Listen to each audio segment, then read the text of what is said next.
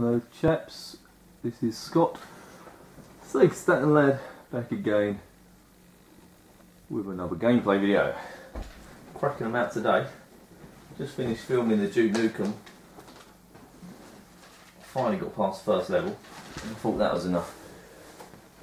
For losing heavily on that one. So anyway, this is uh, Die Hard Arcade.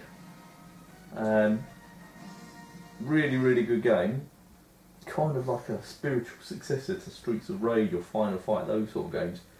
Hasn't got the sort of uh, the long life gameplay of those, but uh, this is quite a short and sweet game. So uh, you know, it's enjoy it while it lasts. And I think I've already said before, but you know, it's branded as Die Hard. It's got fuck all to do with Die Hard, the film. Uh, you play a likeness to John McClane, but that's really about as far as it goes. And the uh, the building you see is uh, a, a copy of the building in Hard One, Nakatomi Towers. But uh, apart from that, that's about as far as it goes, and it doesn't really go much further, really. Uh, there's other options. Yeah. Violence off. We want violence on, don't we? Exit. Die Hard Arcade, here we go. Not particularly hard game, but um, takes a little bit getting used to.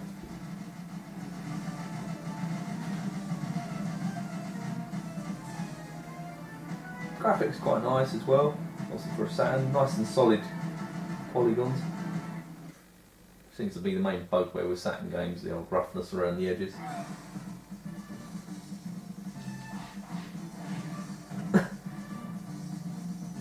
Check out the blood. Looks like they've just been uh, spilling some red wine rather than blood, but uh, there you go, easy enough. You only get two sort of punch, kick, jump. That's about it, really.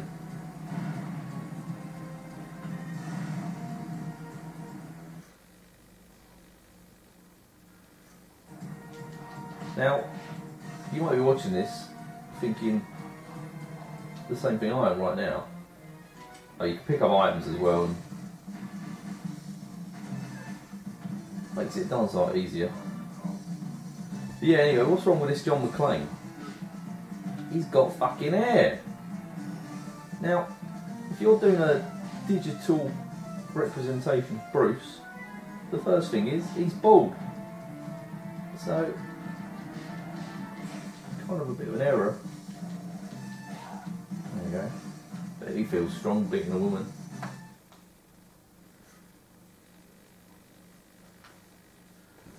These bits are good. They remind me of Shenmue. They're quick time events. Press kick, kick. If you don't do it in time, then you end up having to fire them.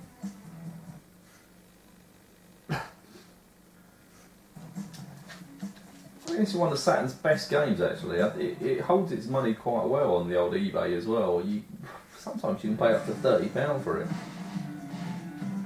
And as you do, someone's got a fucking rocket launcher, so we're gonna have that. And we're gonna shuffle that along the way. That's it. Blow these fuckers up.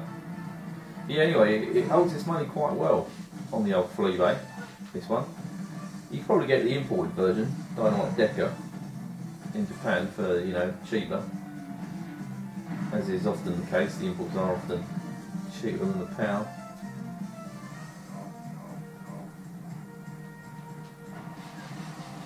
So this poor fucker's taken a rocket launcher to the face. And now he's taking an axe to the head as well.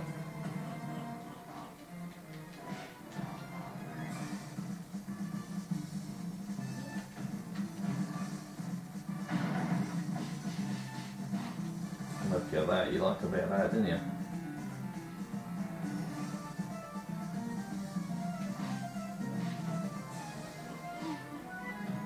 You can get a sequel to this on the Dreamcast, but it's called Dynamite Cop.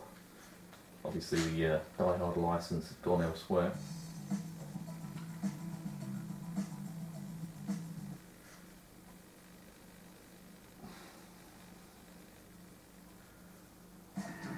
These bits are ridiculous.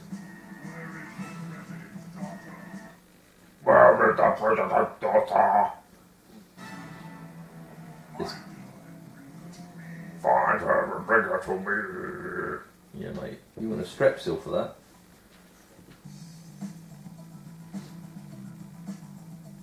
Yes, blah blah blah.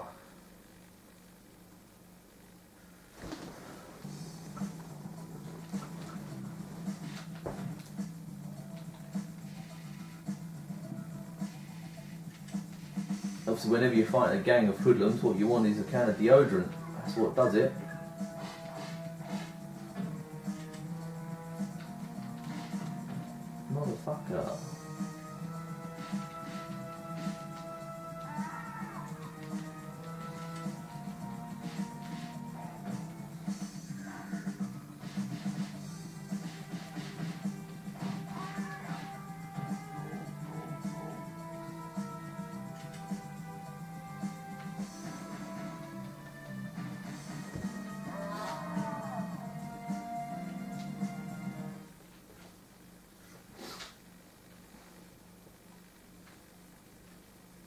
Here we go, another quick time. That's it. Sneaky, sneaky Bruce. On tiptoes. Oh no, jump! That's just what happens when you're fighting a bunch of international terrorists. The firemen turn up. They don't look very happy with Bruce. Oh no. This isn't very fair, is it? Three against one here.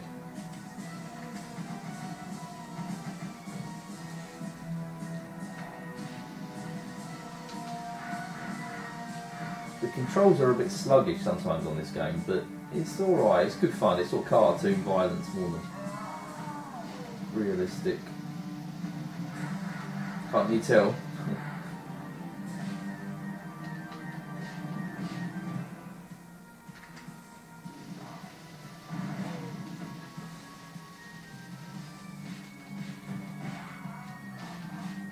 Right in the nuts.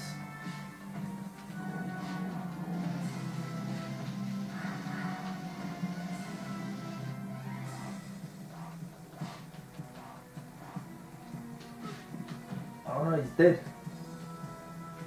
We'll carry on. Give it one more go.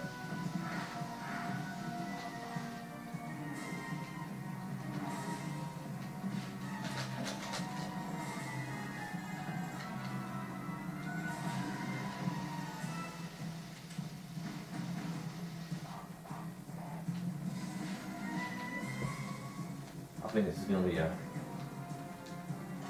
quick second round defeat. Here we go.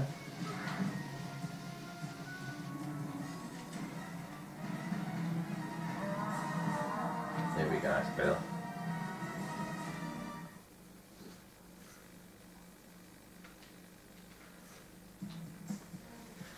I suppose the main difference with this and like the um, 16-bit or last gen side-scrolling fighters is that you're not actually sort of walking about. It just goes from one scene to another. You go, you fight the guys, and then you get a little quick time event, and then you move on to the next room, and then you clear it out. Now clearly someone's left a and tank gun there, so it's got to be that. Oh yes, that's what I'm talking about. It's like fucking harpoon or something. There's no one coming back from there, is there?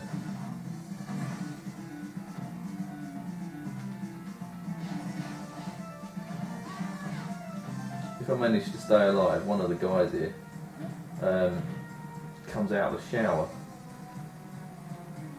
I can't remember if he's got pants on or not.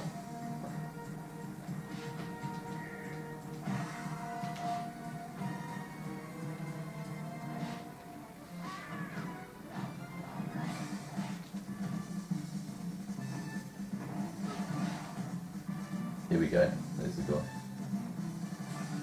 Has he got pants on? Oh yeah, he's got pants on.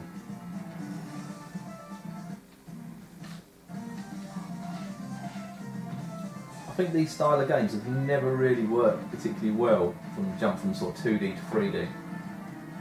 I think certain genres have, you know, done very well. You know, as they sort of progress. You know, dr- driving games have really benefited from, you know, the extra oomph various consoles. But I don't think fighting games have particularly done. You know, they haven't made the jump from 2D to 3D very seamlessly.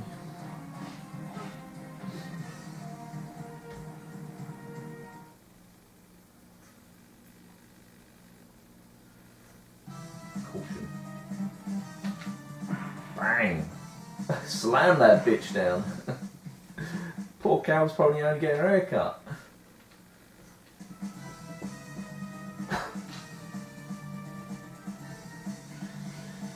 Now, as you do, you get two robotic things just about to fight Bruce.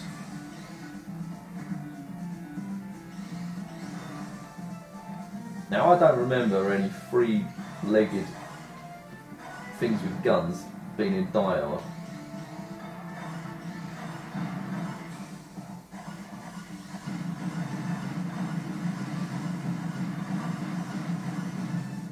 That's.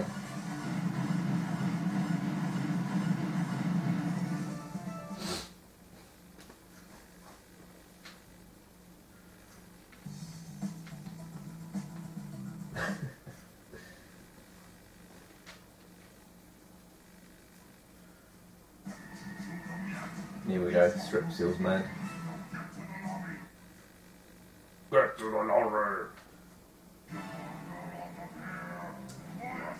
Oh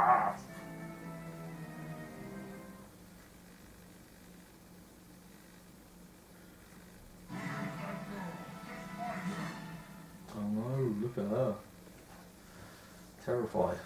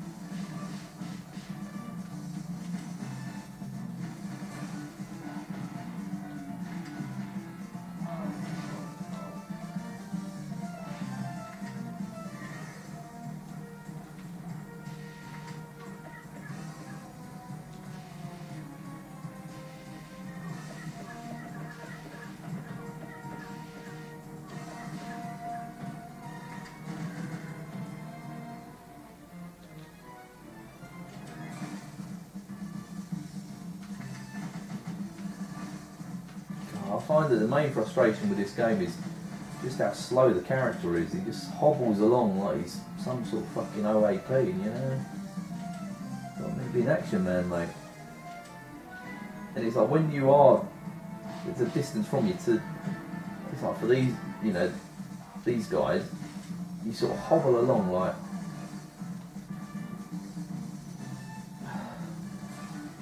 get up, fool.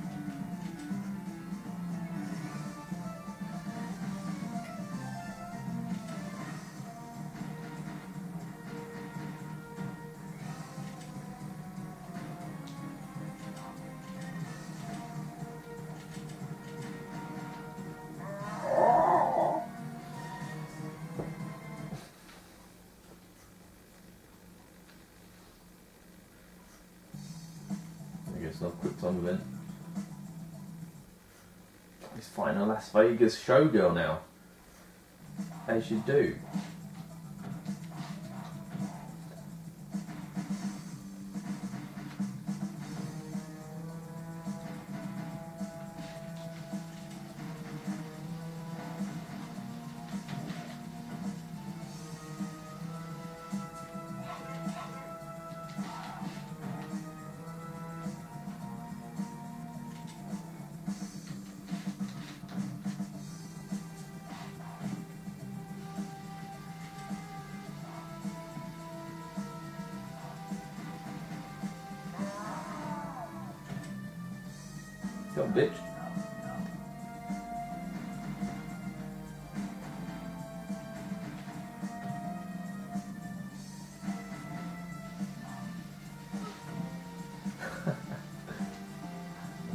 Do one more. We've only got one life left anyway, so.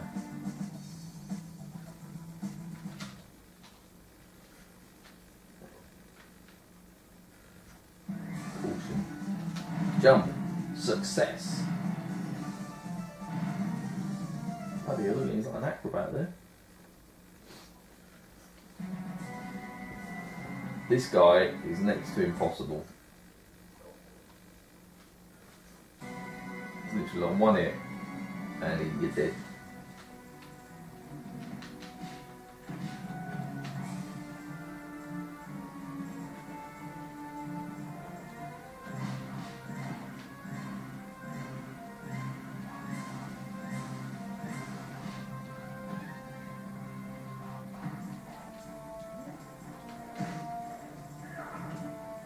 Taken half your life.